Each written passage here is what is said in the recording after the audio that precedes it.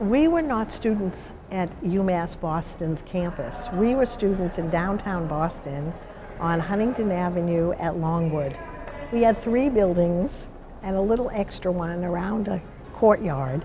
So we spent a lot of time in a place called North Hall, which if you walked in, you had to cut the smoke with a knife because in those days people smoked. My favorite thing about study at Boston State was the group I was put with. We were in sections and I think our section was F8, and we stayed together the, the entire time. We, we studied together, and we played together. I was a cheerleader and I had a great time and the guys were so funny because they'd sing The Lion Sleeps Tonight. I don't know what it meant, but they would roar and The Lion Sleeps Tonight. And I don't know if that was because they won. I don't know what was going on.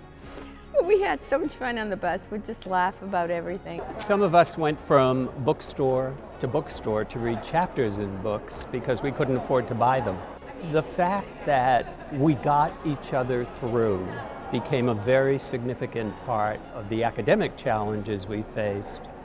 And those continue today with the life challenges we face. Boston State serviced a wonderful niche of society. They were diverse, but not in the same way that the students at UMass Boston are diverse. Everybody worked very hard after school, may I say, to afford the $200 a year tuition.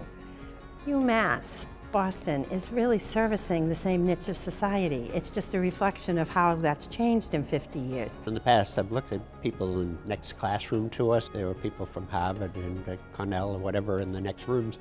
Uh, doing the same things, uh, getting the same pay and so forth. So it was quite a, a good direction. It was a wonderful experience and I'd do it all over again.